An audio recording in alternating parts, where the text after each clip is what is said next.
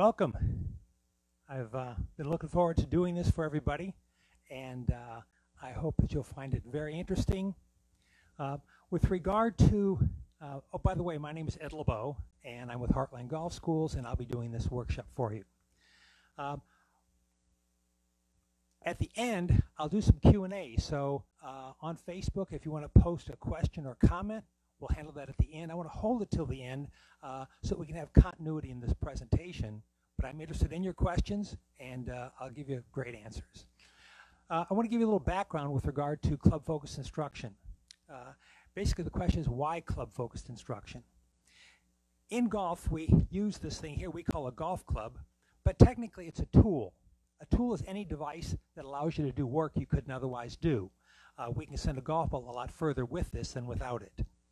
And what we found is that humans, you and I, use tools by what we see, not on how our body works. Uh, at its earliest, uh, when you and I were sitting in a high chair and mom was feeding us, we saw that spoon working.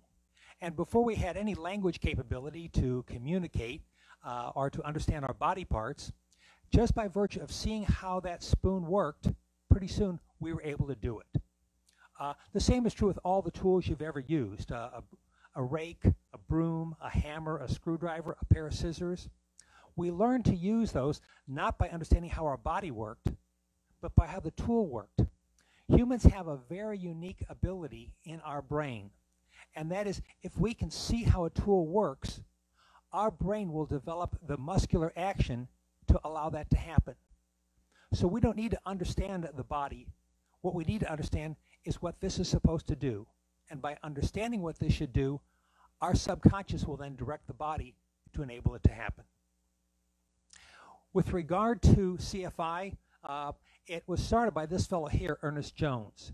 Um, back uh, in the World War I, Ernest was an English golf professional and uh, was called to service. And in France, he lost his right leg below the knee. Uh, of course, uh, as a golf professional, uh, he thought that was the end of his career. When he was released from the hospital, uh, he went out onto the golf course, asked a buddy his to carry the clubs, and on a very difficult course, without having played for a long time, he shoots 87. The next day he goes out again and shoots 78. On one hand, Ernest is delighted. On the other hand, he's puzzled because he can't do the things with his body he always thought that he needed to do. What came to him is that it's not important what the body does as long as you do the right thing with this.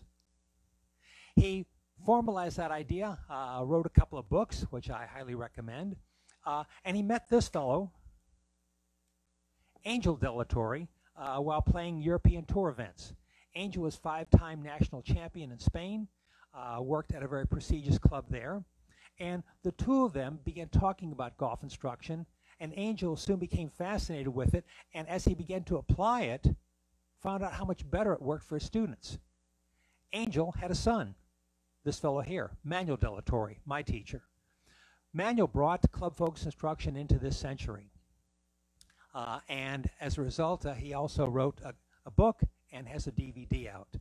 Um, I'd encourage you to, to read it. Uh, it's an excellent work with regard to club focus. This will give you some of the historical background. So club focus instruction is not something new. Uh, it's been around for a long time. It's tried, it's true, it's tested. Uh, I began my career in golf instruction doing body focus instruction. Yes, it's true. Uh, but soon I became introduced to Manuel and was puzzled at first with regard to this club focus thing. And then after attending one of the seminars, which he would conduct annually for golf instructors, I began to reflect on it. And several months after attending my first one, it dawned on me what he was really talking about. That was almost 20 years ago. And ever since then, uh, it's been club focused for me and for my players. And the remark that I get from them is that I didn't know golf could be this simple. And we see them improving, whether they're ranked beginners or experienced veterans, so much quicker through club focused instruction.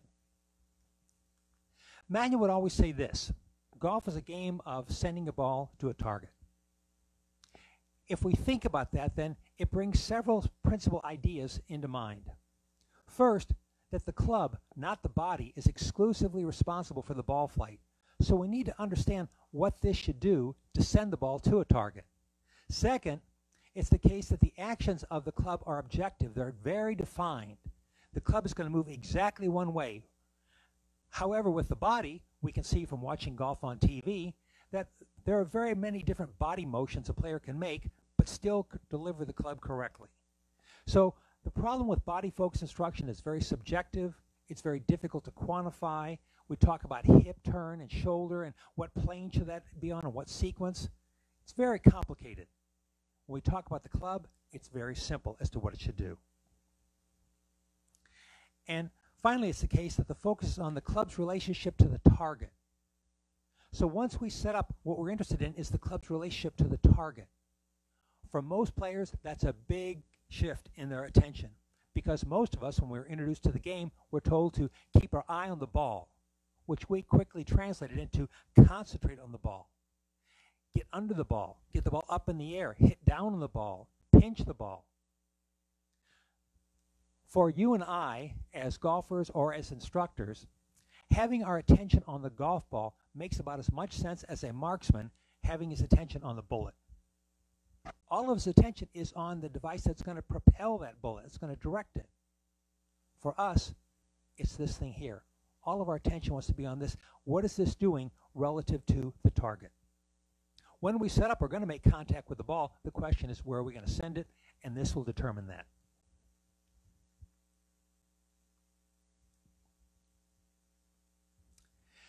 What I want to share with you are the four essentials for propelling the ball to the target. These essentials apply to every club. So what we're going to learn with the driver works equally effective with the putter. What that does for us as players is to really simplify so that we know what I'm going to do on the next shot is exactly what I did on the last shot. My intention is going to be exactly the same. With regard to these four, they apply to every player. So whether you're man, woman, or child, whether you're young or old, these apply to every golfer. They're universal. With regard to the four, what they don't include is this. They don't include having a straight left arm. How do we know that? We know that because there are a lot of players who don't have a left arm, and yet they can play very nicely. What else don't they include? They don't include keeping your eye on the ball. What? Not keeping your eye on the ball. It's the case that there are 2,400 members of the Blind Golfers Association of America. How do they keep their eye on the ball? Golf is one of the few games that a blind person can play because the ball doesn't move. Once we set them up to the ball, now their all their ability is, all their intention is, is just to swing the club. The ball is in the path of their swing. With regard to these four, they don't include shifting your weight. One of the worst things we can do to shift our weight. You see, golf, the golf swing is a circle. And the bottom of that circle is where the ball should be. As we shift our weight, that circle moves there is no advantage to shifting our weight. It's thought that we increase our power by doing that. But if you think about it, if you walk up to a wall, put your hand against it, and smack that wall as hard as you can, what you'll find is that your power is rotational, not lateral. So shifting the weight is something that we want to take out of our swing and if we're teaching, it's something we don't want to teach another player. As a matter of fact, if you have a player, and I'm working with a new player right now, if you'll encourage them to learn how to keep their balance, you'll find that they progress so much faster. With regard to the four, they also don't include keeping your right elbow tucked in. How do we know that? Because there are a lot of players who don't have a right elbow, and yet they can play very nicely. It doesn't include keep making a full hip turn. There are players who play from wheelchairs. They can't make a full hip turn. And it doesn't include keeping a flat left wrist. So what are these four essentials? These are the four that really should be the focus of our game improvement as players and should really be the focus of every lesson that we give. Whether we're teaching a new player to play or whether we're trying to diagnose the ball flight that a player isn't satisfied with and that's why they come for a lesson. So here are the four essentials. Number one is this, and that is that the ball should be struck by the center of the club face. With regard to that center, it's the case that when the ball is struck by the center, the ball will travel forward. If it's struck by the toe, the club is going to twist and the ball will leave in this direction. By the heel, it's going to twist this way. The ball will leave in this direction. Center contact is absolutely important to get the ball to go down our target line. So it must have center contact. The second one is this, and that is that the club face should be perpendicular at impact. So as I'm making the swing, I want to make sure that my club face is perpendicular to my target line. Because once again, the club face will determine the starting point for the ball. If the club face is out of square, the ball cannot go down the target line. So the second thing that must happen is, and when we swing, is the club face must be perpendicular to the target line. The third one is this one, and this is the one that's probably the most elusive or the most difficult for a new player or even an experienced player to grasp, and that is that the club should be swung along the target line. And I want to take a minute to define what that is. You see, if I would stand like this and imagine a target line, and I had a ball in hand and I wanted to throw it to you, my forearm would track the target line here, here, here, here. It would track the target line all the way to you. The moment my forearm came off that target line, the ball cannot go to you. The club is just an extension of our arm. When we swing, we want the shaft of the club. We want the shaft of the club to go down the target line. So that my intention is, is I, when I'm at address, is I want to hold a picture of the target and I want to get my shaft to go down the target line and eventually point at that target. Swinging the club to the target is an amazing thing that does amazing results on a golf swing. Once we get a player to begin swinging to the target, a whole host of problems go away. The fourth one is this, and that is the club is swung with enough speed to propel the ball the desired distance. So if the target is 150 yards away, you choose the club that sends the ball 150 yards. You choose the club that fits your swing speed. So with regard to the four essentials, they're these. Center contact, a square club face, swing to the target, and enough speed. Those are all that takes to produce a golf shot that is straight, that is at the normal trajectory, and that optimizes whatever your speed is with regard to your swing speed. Now, what we want to do now is just take a little deeper dive into how do we achieve these. So how we accomplish them is this way. With regard to the ball being struck by the center of the club face, what we want to recognize is that at address, the club is in effect a radius of a circle. The radius of a circle. If the center of the circle moves, the radius is going to move. But if the center of the circle stays stationary, then the radius of the swing is going to come back. We're going to get a lot of center contact. How do we do this? It's very simple to conceive as a concept, but also it's very easy for our players. All we want to do is to have them develop a sensitivity for their balance. So with regard to this, when we set up, we want to set the club down and then find our balance. Find our balance. It's very, very valuable. Once we find that balance, we then want to practice being able to make a full swing without losing the balance. We want to be able to make the backswing and the forward swing without losing that balance. When we don't lose the balance, now it's the case that the center stays stationary and the club comes back and finds the golf ball right in the middle of the club face. When you watch golf on TV, notice how much shifting of the weight there is for those players. What you'll find is zero. And whatever is less than zero occurs when they're in a when they're in a fairway bunker and they need to get the ball cleanly out of the fairway bunker. Balance is so critical when when people ask me for a golf tip, the one I give them is that balance is the unsung hero of a great golf swing. So with regard to the ball being struck by the center of the club face, what we want to understand is to maintain our balance through impact. Now, once the club passes impact, the momentum of the club is going to pull us to our front foot. The club will shift our weight, not us. So here's number two. Number two is this one, and that is the club face should be perpendicular to the target line at impact. How do we do that? What we want to do is to study our anatomy. Yours and mine, very similar. When we have our arm and we extend our arm like this, what we're going to find is that the joint in your shoulder, in your elbow, and in your wrist is going to produce your, deliver your hand thumbs up when you just swing like this. If you were hanging from a rope, you would find that you'd be hanging this way. So the joints in our arm, when they are subjected to a pulling action, are going to turn thumbs up so that when I swing, the centrifugal pull of the club is going to turn my hand thumbs up. With that being the case, what I want to do then is to remember that.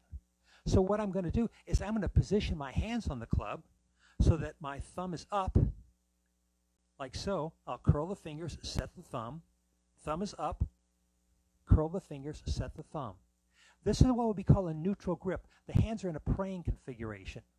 So that now both hands are going to be delivered to this position. So now it's the case that by getting the club set correctly in my hands, when I swing, the joints in my arm are going to square the club face for me at impact. The club's doing 60, 70, 80, however fast you swing, miles per hour, it doesn't matter. The club is going to be squared by the joints in your arm. Now, there are other factors that affect that, but principally that's the big one.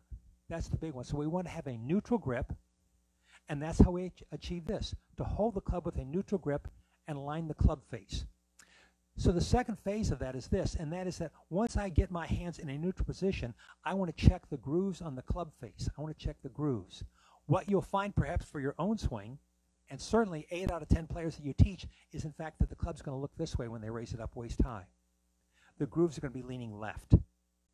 What that does is it sets the club up on the leading edge and it delofts the club.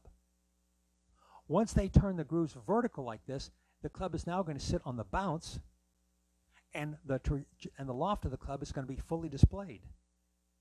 So it's a tremendous advantage, and I've seen many, many lessons given where the instructor never observes that with a player. So for your own game, or if you're teaching, it's something we want to be careful of, and that is to make sure that the player has the grooves vertical. It will help your lesson progress much more nicely, and this will help them as players produce shots with a normal trajectory. They're going to have a lot more trajectory with their lofted clubs, and when the ball reaches the green, it's going to sit down. It's going to sit down. So with regard to the number two is to is to hold the club with a neutral grip and align the align the grooves of the club face. Number three is the club is swung along the target line. Well, there is no physical target line. There is only a mental target line. There is a relationship between me and the target. I could, with my fingers, point a line to the camera. I can imagine that target line. I can imagine where the camera is.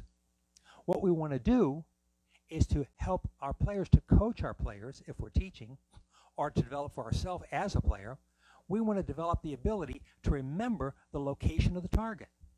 It's a whole skill in itself. If you want to do this, here's a fun little exercise. Just take the club upside down like this and pick out an object across the room, close your eyes and attempt to walk over and touch it with the end of the club. It's good practice for what it's like to remember the target's location. If we lose it for just a second, the club has already been moving and it can move out of can move offline. So we want to be able to set up look at the target, and not that it's there, but remember its location so that I can make a swing delivering the club to that target. That's true for putter through driver. Remember the target's location, get the club to go to the target. And so the way we do it is to remember the target's location and swing the club to the target. What you'll find for many players as they're working on this is they will look at the target, remember its location, and as the club comes forward and gets near the ball, they'll get interested in the golf ball. So one thing you could do for yourself as a player or for your uh, students is to have them practice making swings at the target without the ball, getting used to remembering where the target is and getting the club to point there. Now, one, one fine point about this, and that is all of our targets in golf are on the ground a landing area in the fairway, the hole up on the green. They're all on the ground. So when I imagine my club swinging to the target, I'm going to see the club pointing downward, whether it's 10 feet away or whether it's 150 yards away.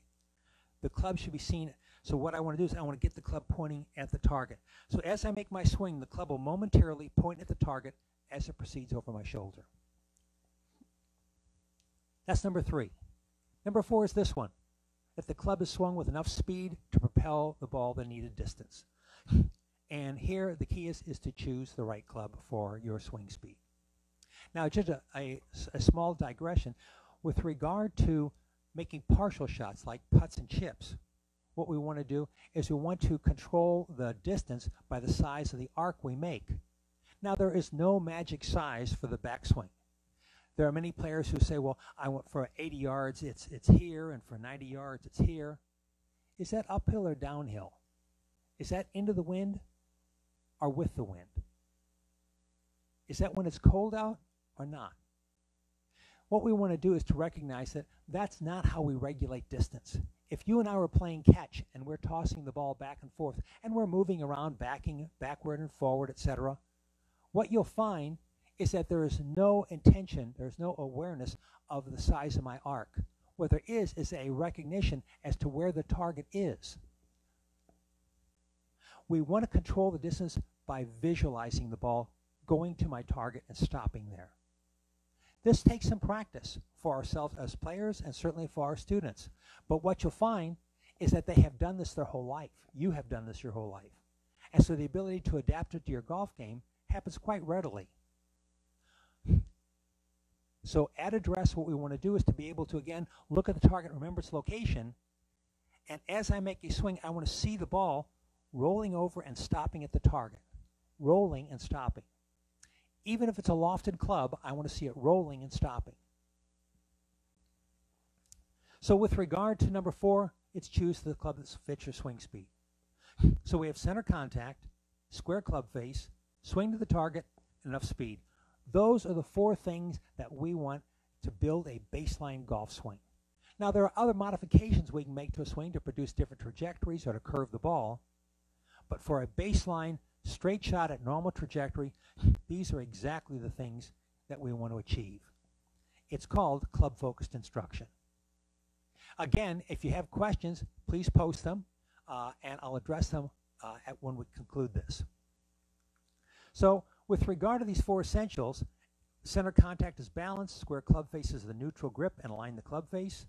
Swing to the target is remembering the location, and enough speed is club choice. Choose the right club. I'm going to take a minute, just let you gander that and process it.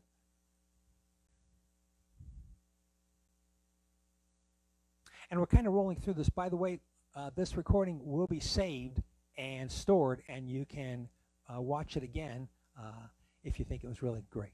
And I hope you do. so this is what to do, and here is how to do it. Now what I want to do is I want to take these concepts, these principles, these central ideas, these swing essentials, and now build, put them into the context of the setup and the swing. So what we want to do is we want to talk about these two things now, the setup and the swing. With regard to the setup, we're going to address the three things. One is the grip, second is the club position, and third is the body position. So first with regard to the grip, we alluded to it before, I'm going to do it again very slowly. With regard to establishing a grip for yourself or if you're teaching, a very nice way to do it is just to take this hand and have it exactly vertical. Many players right away will want to do this. Have it exactly vertical, curl the fingers, and set the thumb. For the right hand, the little finger rests against the index, but what we want to do is to curl the fingers and set the thumb. And what we'll find is that the thumb fits, eh, the left thumb fits right in the pocket of the right hand. By the way, what you'll see is that I have a 10-finger grip.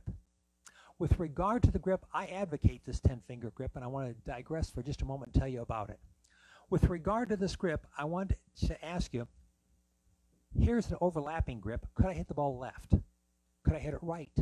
Could I top it? Could I chunk it? Could I shank it? All of those. Here's the interlocking grip. Could I top it? Could I shank it? Could I hit it fat? Could I hit it left? Could I hit it right? Certainly all of those. What does this grip fix? What does this uh, finger arrangement fix? Absolutely nothing. What it does do is it takes some of the fingers off the golf club. What you're going to find is that in an interlocking grip, we only have eight fingers on the golf club, overlapping nine. But with a 10 finger grip, all 10 fingers are on the club. What does that mean? It means the grip pressure for each finger needs to be slightly less, which means your sensitivity and feel could be slightly better, which means the tension in your arms could be slightly less and the swing speed slightly faster. For a new student, it's going to be much easier for them to get acclimated to do this than to do any of these other things that feel so funky. So with a 10 finger grip, I just encourage you, give it a try. If you have a different grip, try 10 fingers. Go out and make some putts, make some chips. Don't do anything too dramatic. Don't try to drive the ball through two trees. Uh, but take some simple shots and go to the 10 finger grip. I think you'll find it's very easy to adapt to and it works great.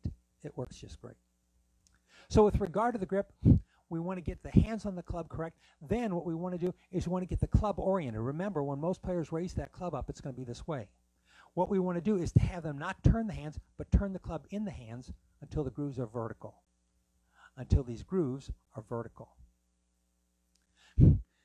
So that's how we want to grip the club. With regard to the club position, what we want to do is to sole the club so that it's favoring the heel. So I've got a little piece of yellow tape on this golf club right here. So if I take this club and divide it in half, divide the grooves in half, I want the club to rest favoring the heel. Because when I swing this club, what's going to happen is we're going to get droop. The shaft is going to bend. And as it does, the club is going to do this. If I start out level, the club will now be toe down. But if I start off favoring the heel, now the club will come in flush. So as I set up, I want to be able to set the club down so that if I just set, these clubs are fit to me, so if I just take this club and just bend over, the club rests right there.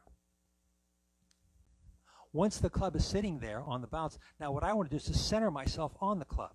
I want to center myself on the club. Why center? Because if I take my hands and start making an action like this, what I'll find is that there's one point where my hands are square to the target line. And that's as they cross my center line. If I put the ball back in my stance, you can see the club is facing to the right. If I put the ball forward in my stance, you can see the club is facing left. There are a lot of players who are told to vary the position of the, of the ball by virtue of the club.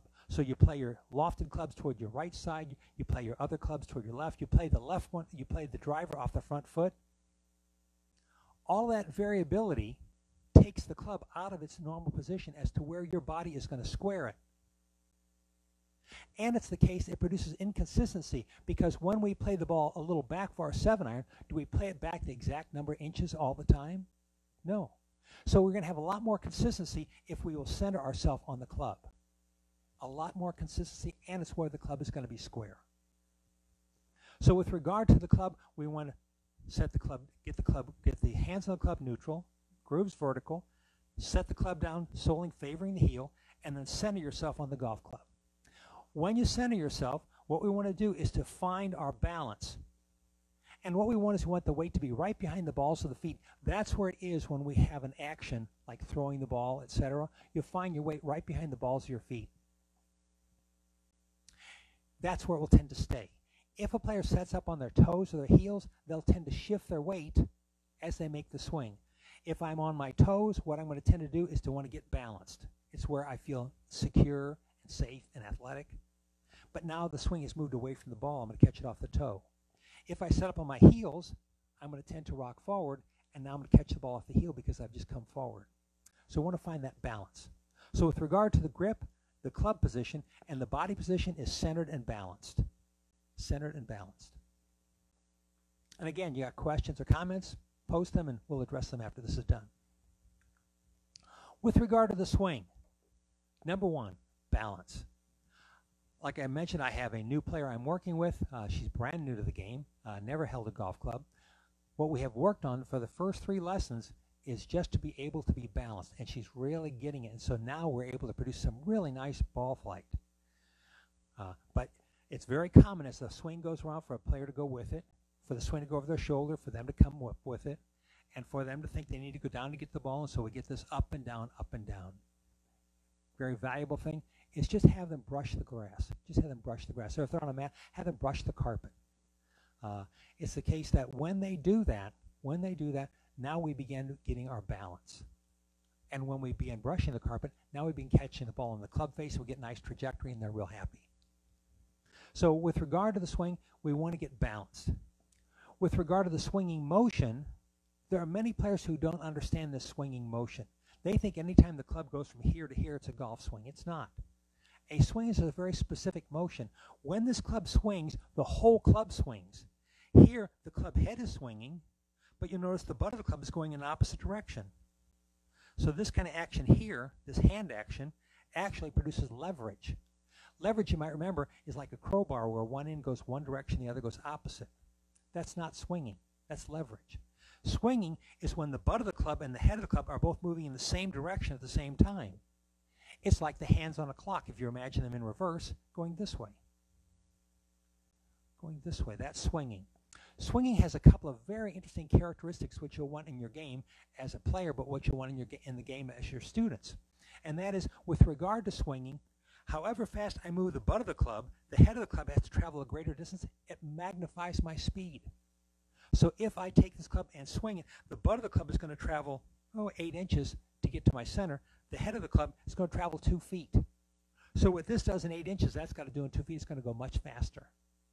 And it's why your eight iron goes further than your nine iron. It's a little bit longer. It has to travel further. That's one reason. So with regard to swinging, we want to get used to swinging, as Manuel would call it, swinging the whole club. Not the handle, not the head, but the whole club. And when you do that, you're going to find number one is that you produce your optimum speed. But second, what you're going to find is that when you swing the whole club, the whole club gets delivered here. And when it does, now the club is has its right trajectory. It's facing forward. We produce a very nice golf shot. Swinging the club, learning to swing it. And here again, uh, I encourage you uh, as a player, but also as an instructor, to teach in slow motion. It's a terrific way to learn. We learn to use tools best when someone shows us how they work slowly. So show your player how this club swings and have them at that speed do that. They'll do it right away. And they'll say, gee, this is simple. Give them some time to practice it and then allow them to do it a little bit faster, a little bit faster, a little bit faster, and then have them do it while they're brushing the grass. Have them learn to swing the club. It pays terrific dividends to accelerate your game, mine, and them as players. So many players are taught to set up with that club leaning forward and to pull that club forward. Anytime the butt of the club arrives first, the head of the club is out of square. Right now the club is facing forward, the head is now facing off to the right. Or it's delofted. We want to learn to swing the club, to deliver the whole club, to have the whole club swinging. There are a number of players on tour that do this very, very well. The idea of lag is just a, an invitation for timing, and timing is an invitation for inconsistency. We want to be able to swing the whole club from here all the way to there. And finally, we want the swing to be target oriented. This is so important. When I make the swing, I want the swinging motion to deliver the club to the target. If we take a look at my hand, what we'll see is that you say, well, gee, the swing comes inside inside to here to inside, inside to inside. It depends what part of the club we're looking at. If I look at my hand, yes, the club is coming inside. But if I look at my forearm, oh, my arm is coming right down the target line. If I look at my forearm, it's going right down the target line. So it depends what part of the club we look at. So when people say, uh, is the club go straight back, straight through, the answer is yes and no at the same time. The shaft goes straight back and straight through. The club head does not. The club head has a relationship to you. As you turn, it's going to turn. As you turn, it's going to turn. But the shaft of the club is going right along the target line. It's going to go right along the target line. So learning to make that swing so we swing the club at the target. What you could imagine is that as the club goes from 6 o'clock to 5 o'clock to 4 o'clock, that you and the club are going to both be pointing at the target take this out and make some little chip shots. Pick a target out and make some little chip shots where you and the club point at the base of that tree or the base of that whatever, and you're going to see that ball go exactly there. And for our players, it's so important for them to have a clearly defined formula for controlling the ball. Oh, it's a simple game now. I understand that. I can control the ball. A lot of players, it's hit and hope. But once you learn to control the club relative to the target, it's hit and be happy because the ball's going to go right there. And as that, as we begin to build that relationship between club and target, it becomes really important, and it's a priority. It becomes my number one priority as I'm swinging the club to get it to go there. Now, what can happen is there's a lake, there's wind, there's trees, there's elevation, all these things to distract me from that. But if I'm at the range and I'm practicing staying on that target, staying on the target, there's a very good chance on the golf course those other distractions will bother me less. They'll still bother me once in a while. So with regard to the swing, these are the three elements for the swing. So uh, that concludes the session. We're going to store it. You can take a look at it again. Uh, uh, feel free to uh, pass a link to, uh, to friends or anybody that think it would be helpful. And uh, great being with you. I'm Ed LeBeau. Stay safe, play well.